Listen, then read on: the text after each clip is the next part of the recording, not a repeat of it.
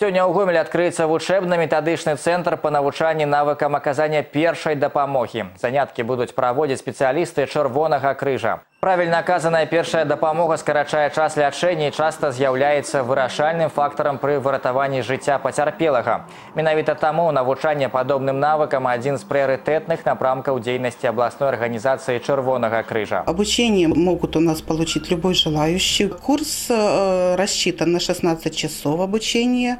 Это в основном практические занятия, потому что обучение навыкам оказания первой, первой помощи в основном э, отработать э, те моменты, которые нужны вот, непосредственно в оказании первой помощи до автоматизма. Это бесплатно, но, конечно, при желании, если кто-то захочет, может внести пожертвование в копилку Красного Креста.